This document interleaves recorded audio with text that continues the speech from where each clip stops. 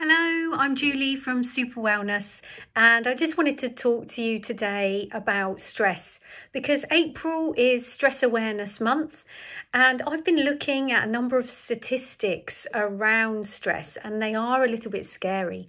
The uh, Stress Awareness Month was set up in 1992 in order to spread the word on the prevalence of stress on our society. But unfortunately, it appears that things have not in, improved since then, and stress is indeed far reaching.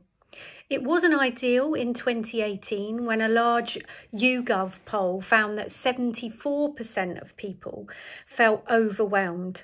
And as you can imagine, since COVID 19, this is only worsened.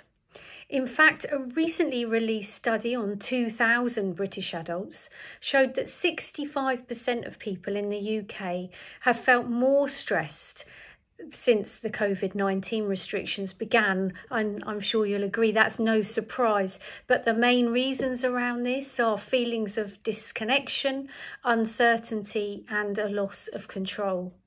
Another recent survey looked at the UK workforce and found a 113% increase in stress related leave over the past two years.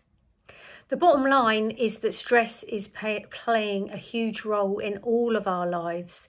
And in order to ensure this doesn't manifest into poor health, we have to take steps every day to manage our stress levels. There are huge variety of stressors. Many feel and are out of our control, such as those I just mentioned.